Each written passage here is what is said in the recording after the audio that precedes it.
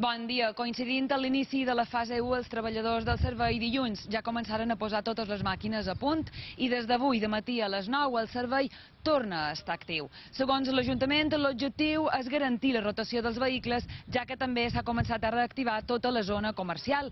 Des de l'oposició critica la decisió. El Partit Popular considera que el servei hauria de continuar sent gratuït mentre duri l'estat d'alarma. Avui, de moment, hi ha poc moviment, poca rotació de vehicles i els agents es dediquen, sobretot, a informar els conductors i advertir-los de que ja és obligatori tornar a exposar el tiquet.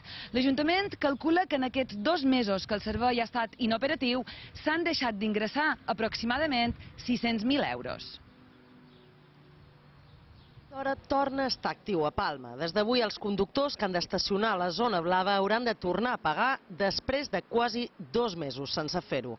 La fase 1 suposa l'obertura de pràcticament molt d'establiments comercials i per tant també el fet de garantir a l'espai públic una certa rotació de vehicles per tal de que se pugui garantir doncs, que aquest dinamisme vagi combinat de que hi hagi gent també eh, que, que se pugui desplaçar de forma còmoda en aquests establiments. Alguns veïns encara no s'havien assabentat avui que torna el servei. He anat mirant tots els altres cotxes, n'hi havia que duen adhesiu i bé, bé que m'ha tret el tiquet, així que supos que...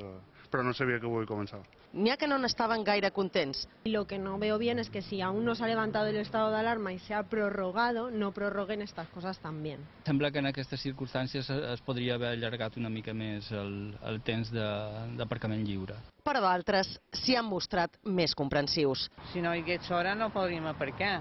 Tothom aparcaria allà on voldria i estem que voldria. Jo, jo ho veig bé. El personal de l'hora fa feina des de dilluns en tasques de manteniment de la maquinària. S'hi han incorporat 70 dels 110 treballadors, els qui no fan feines perquè es consideren població de risc. Les més de 400 màquines repartides a 8 sectors de la ciutat es desinfectaran una vegada al dia. L'Ajuntament recomana utilitzar preferentment l'aplicació Moviapp Park per pagar el tiquet abans que fer-ho en efectiu.